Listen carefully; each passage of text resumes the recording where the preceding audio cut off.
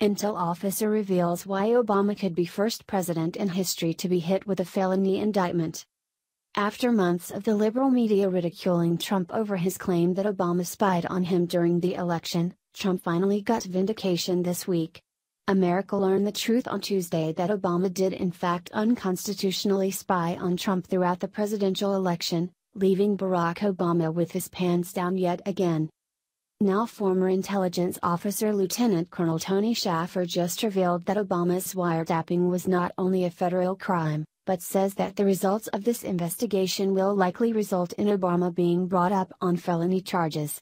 The colonel's dire prediction about Obama's future is sending shockwaves through the black hearts of liberals all across America today, as it's now thrown a monkey wrench into Obama's plans to stage his political comeback this fall. In a recent interview with Trending Today USA, Lieutenant Colonel Tony Shaffer called Obamagate an order of magnitude even bigger than the Watergate scandal because the incident included using nation state resources for purposes of political gain. When asked if Obama could be arrested for violating the law, he said that it would be the first time a former president could be indicted for a felony.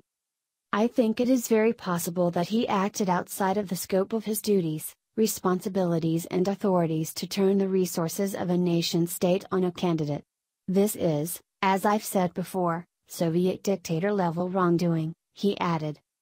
Shaffer said that Obama using government resources to spy on Trump was for the sole purpose of getting Hillary into office, as Obama hoped the wiretapping would produce enough dirt on Trump to sabotage his presidential run. Given Shaffer's lengthy military career, his rise to the top of the American intelligence community, and his current senior position at the prestigious London Center for Policy Research, his prediction about Obama shouldn't be scoffed at. Being brought up on felony charges would completely destroy Obama's plan of making his political comeback this year, as he'd be trying to figure out a way to keep himself out of prison instead of spending his hours obsessing with ways to bring Trump down. The Hill reported on just how extensive Obama's spying truly was, as this unconstitutional move wasn't just limited to listening in on Trump's calls. They reported. If these reports are accurate, it means U.S. intelligence agencies secretly surveilled at least a half dozen Trump associates. And those are just the ones we know about. Besides Manafort, the officials include former Trump advisors Carter Page and Michael Flynn.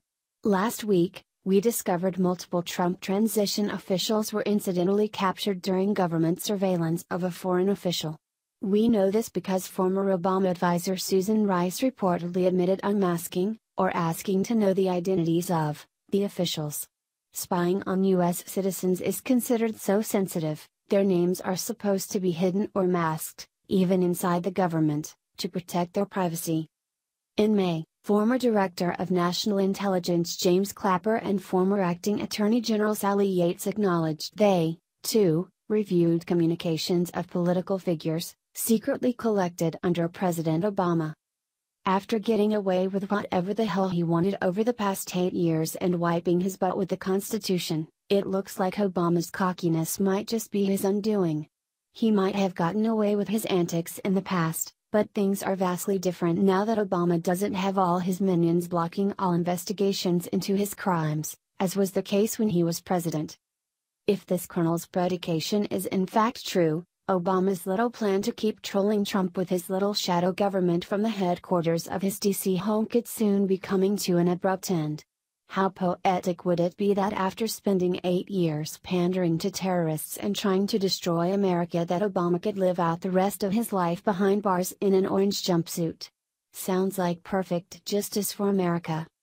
Share this story if you want to see Obama behind bars for the rest of his treasonous life. Life.